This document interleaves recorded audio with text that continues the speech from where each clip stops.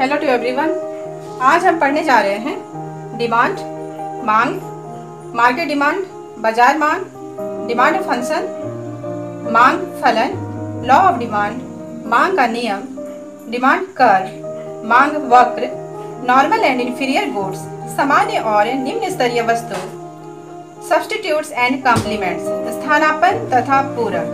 तो चलिए शुरू करते हैं। डिमांड मांग। The quantity of a commodity that a consumer is willing to buy and is able to afford given prices of goods and the consumer's tastes and preferences is called demand for the commodity. तो मानिए कि आप एक उपभोक्ता हैं और आप market में गए आप विश कर रहे हैं कोई सामान कोई वस्तु देख रहे हैं तो आप विश कर रहे हैं कि ये वस्तु मेरे पास होनी चाहिए तो यहाँ पे क्या हो गई? यहाँ पे आपकी विलिंगनेस हो गई उस वस्तु के लिए, वो वस्तु खरीदने के लिए। तो एक तो आपके पास विलिंगनेस होनी चाहिए मतलब किसी भी वस्तु के लिए सबसे पहले आपके पास विलिंगनेस होनी चाहिए कि आप वो वस्तु को खरीदें। दूसरी चीज़ ये है कि एबल टू अफोर्ड मानिए कि विलिंगनेस आपके पास है, लेकिन आपके पास पैसे नहीं है कि उस वस्तु को आप खरीद सकें। तो आपके पास विलिंगनेस के साथ साथ आपके पास एबिलिटी टू एफोर्ड भी होना चाहिए। मतलब आप उस वस्तु पर व्यय कर सके, व्यय करने की आपके पास क्षमता होनी चाहिए। Given prices of goods and consumers taste and preferences और प्राइसेस ऑफ़ गुड्स हमें पता होनी चाहिए और कंज्यूमर्स की टेस्ट और प्रिफरेंसेस उसकी पता होनी चाहिए। तभी हम उसको डिमांड कह सकते हैं, उस वस्तु के लिए डिमांड कह सकते हैं। मानिए कि आपको फ्रूट्स खाना है। आप मार्केट गए। आप जब मार्केट में जाते हैं तो तरह तरह के फ्रूट्स देखते हैं। आप सब का दाम पूछते हैं। आपके पास रुपए होते हैं। मानिए कि आपके पास सौ रुपए हैं। तो आप ये सोचते हैं कि सौ रुपए में कौन कौन सी फ्रूट्स आ जाएगी। आप फ्रूट्स और पैसों की तुलना करते हैं।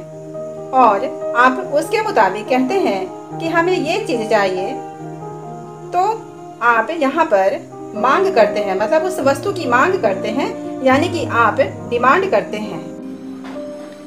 मार्केट डिमांड, बाज़ार मांग। Market demand for a good at a particular price is the total demand of all consumers taking together तो जैसे इंडिविजुअल डिमांड होता है तो वो एक व्यक्ति का डिमांड होता है। लेकिन मार्केट डिमांड क्या होता है? मानिए कि मार्केट में हम लोग सपोज़ करते हैं कि पाँच कंज्यूमर हैं, ठीक है? और जो पहला जो व्यक्ति है, उसका मान लीजिए कि डिमांड हो गया डी वन दूसरे व्यक्ति का डिमांड हुआ डी टू तीसरे व्यक्ति का डिमांड हुआ डी थ्री चौथे व्यक्ति का डिमांड हुआ डी फोर और पाँचवें व्यक्ति का डिमांड हुआ डी फाइव तो ये ऑल टुगेदर ये जो मार्केट डिमांड है, वो क्या हो जाएगा? डी एन यानी कि डीएम जो है, ये पाँचों व्यक्ति के डिमांड हैं। तो मार्केट डिमांड क्या होता है? Is the total demand of all consumers ठीक है? मार्केट में जितने भी कंज्यूमर्स हैं, उन सारे कंज्यूमर्स का टोटल डिमांड डिमांड फ़ंक्शन मांग फलन। किसी वस्तु की मांग और उसे प्रभावित करने वाले कारकों के मध्य फलनात्मक संबंध। तो एक इक्वेशन होता है जिसमें एक्स का डिमांड और उसके फ़ंक्शंस होते हैं कि एक्स का जो डिमांड है, वो किन किन चीज़ों पर निर्भर करता है। जैसे कि हम लोग यहाँ पे देखते हैं कि ये डी एक्स है, यानी कि डी एक्स का मतलब हुआ कि डिमांड ऑफ़ एक्स एफ़ जो है ये फ़ंक्शन है पी एक्स है price of X P R है price of related commodities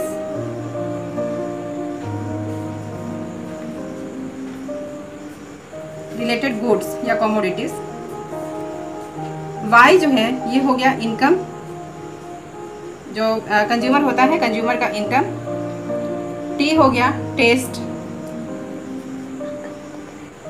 और वो हो गया अदर थिंग्स यानी कि इनके अलावा भी बहुत सारी और चीज़ें हो सकती है। तो डिमांड ऑफ़ एक्स जो है एक्स वस्तु की डिमांड किन किन चीज़ों पे निर्भर करती है?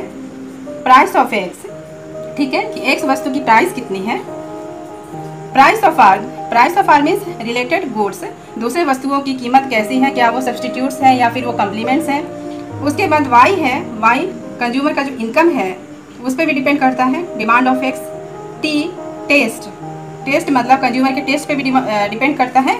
और ओ मतलब ये सारी जो चीज़ें हैं वो बहुत सारी ऐसी चीज़ें हो सकती है जिसे हम अभी आ, उस, उनके बारे में नहीं सोच सकते हैं। वो सिचुएशन पे डिपेंड करती है। लॉ ऑफ़ डिमांड मांग का नियम law of demand states that other things being equal there is a negative relation between demand for a commodity and its price तो लॉ ऑफ़ डिमांड क्या बताता है? Other things being equal other things में क्या हो गया? जैसे कि कंज्यूमर का जो इनकम है, उसका टेस्ट है, और जो और सारी चीज़ें हैं, जैसे कि प्राइस ऑफ़ रिलेटेड थिंग्स वो सारी कंस्टेंट होनी चाहिए। ठीक है? उनमें कोई बदलाव नहीं होनी चाहिए। Then there is a negative relation ठीक है? यहाँ पे निगेटिव रिलेशन है। किसके बीच में? Demand for a commodity and its price ठीक है? तो किसी भी वस्तु का डिमांड और उसके प्राइस में निगेटिव रिलेशन होता है। जैसे कि जब प्राइस जब इंक्रीज होता है, हम देखते हैं किसी वस्तु का अगर प्राइस इंक्रीज होता है तो क्या होता है कि उसका डिमांड जो है वो क्या होता है? फॉल होता है। और किसी वस्तु का प्राइस अगर डिक्रीज होता है तो उसका डिमांड जो है वो क्या होता है? राइज होता है। तो ये निगेटिव रिलेशन दिखाता है। वहीं हम लोग डिमांड कर में भी देखते हैं। यहाँ पे हम लोग देखते हैं, इधर हम लोगों ने प्राइस लिया है और इधर क्वांटिटी लिया है। ये एक्स एक्सिस और एक वाई एक्सिस और यहाँ पे जब प्राइस जब यहाँ तक रहता है तो क्या होता है कि क्वांटिटी डिमांडेड जो है, वो यहाँ तक होता है। जैसे ही प्राइस इसका गिरता है, वैसे ही हम लोग क्या देखते हैं? इसका क्वांटिटी डिमांडेड इसका इंक्रीज हो जाता है। तो ये जो डिमांड कर्व है, ये लेफ़्ट टू राइट डिक्लाइन रहता है normal goods and inferior goods सामान्य और निम्न स्तरीय वस्तुएँ the quantity of a good that a consumer chooses increases as the consumer's income increases and decreases as the consumer income decreases. Such goods are called normal goods. तो जो सामान्य जो वस्तुएँ होती हैं, जो नॉर्मल गुड्स जो होते हैं वो कंज्यूमर के इनकम के साथ, अगर कंज्यूमर का इनकम इंक्रीज हो रहा है तो उसका डिमांड भी इंक्रीज होगा और कंज्यूमर का अगर इनकम डिक्रीज हो रहा है तो उसका डिमांड भी डिक्रीज होगा। तो यहाँ पे एक पॉजिटिव रिलेशन होता है। एक पॉजिटिव रिलेशन होता है दोनों में। जैसे कि अगर कंज्यूमर जो है उसका अगर इनकम इंक्रीज होगा तो डिमांड जो है नॉर्मल गुड्स का वो क्या होगा? वो भी इंक्रीज होगा। और अगर कंज्यूमर का इनकम अगर डिक्रीज होता है तो डिमांड भी क्या होगा? डिक्रीज होगा। तो यहाँ पे हमेशा पॉजिटिव रिलेशन रहता है। अब हम लोग इन्फीरियर गुड्स के बारे में देख देख रहे हैं, निम्न स्तरीय वस्तुओं के बारे में देख रहे हैं। There are some goods the demand for which move in the opposite direction of the income of the consumer such goods are called inferior goods जो निम्न स्तरीय जो वस्तुएँ होते हैं तो उपभोक्ता का इनकम जो है, जब वो इंक्रीज होता है तो डिमांड जो है, वो इंक्रीज होता है इन्फीरियर गुड्स का। और उपभोक्ता का इनकम जब डिक्रीज होता है तो इन्फीरियर गुड्स का डिमांड डिक्रीज होता है। तो ऐसी बहुत सारी वस्तुएँ जो है, मानिए कि अगर किसी की आय बहुत ही कम है तो वो कुछ वस्तुओं को जैसे लेता है, ठीक है, कुछ वस्तुओं को खरीदता है, और जैसे उसका इनकम इंक्रीज हो जाता है तो वो वो वस्तुओं को छोड़कर वो दूसरे वस्तुओं पे शिफ्ट हो जाता है। तो ऐसे वस्तुओं को हम क्या कहते हैं? निम्न स्तरीय वस्तुएँ ठीक है? तो जब कंज्यूमर का जब इनकम बढ़ता है तो वो अपने आप को बेटर महसूस करने लगता है और वो उन सारे वस्तुओं को छोड़ देता है और वो जैसे कि गुड़ के बदले में अगर कोई चीनी कंज्यूम करने लगेगा तो क्या होगा कि उसे आ, उसे क्या कहा जाएगा? गुड़ को क्या कहा जाएगा यहाँ पे? इन्फीरियर गुड्स कहा जाएगा ठीक है? और चीनी को क्या कहा जाएगा? सुपीरियर गुड्स कहा जाएगा। और कंज्यूमर का जैसे इनकम बढ़ेगा तो वो गुड़ को छोड़ देगा और चीनी पर शिफ्ट करेगा। सब्सटीट्यूट्स एंड कॉम्प्लीमेंट्स स्थानापन तथा पूरक।